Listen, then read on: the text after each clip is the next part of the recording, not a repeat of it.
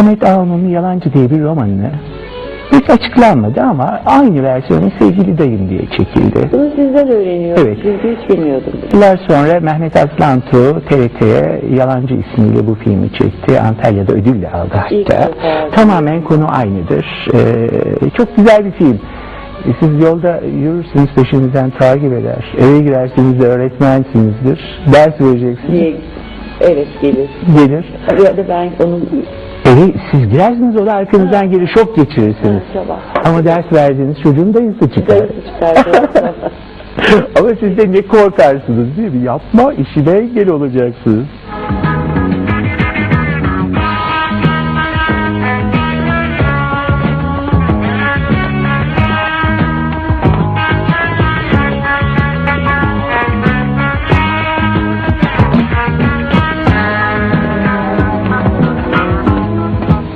Lütfen peşimi bırakın.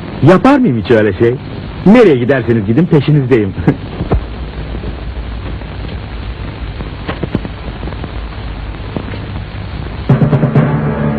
Olamaz. Yapamazsınız bunu. Yaptım işte.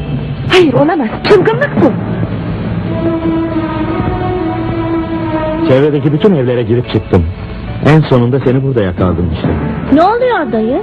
Dayı? Dayı mı dedin? Dayım ya. Dayım o benim.